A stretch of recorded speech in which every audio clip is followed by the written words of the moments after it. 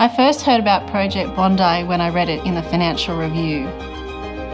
I contacted my contact at CBA and then said, this is a transaction that we just want to be involved in. Obviously, the World Bank is such a highly rated, high quality issuer. So for us, that was already a given. It was very easy to invest again in, in the World Bank. But really, the technology of this um, new issue was extremely important to us. We see that the actual cost of raising debt could be a lot cheaper in this platform, but it's also a way for us to get very close to our own investors and understand who they are. The benefit to investors is that the process is very streamlined, very easy to use and very intuitive. It's a, great way for investors to get access to bonds at a click of a button.